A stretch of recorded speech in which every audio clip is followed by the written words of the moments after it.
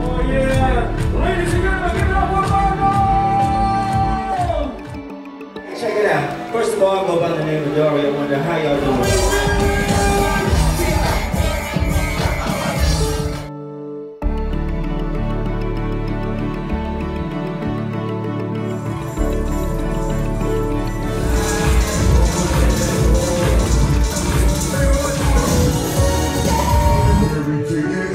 sweet.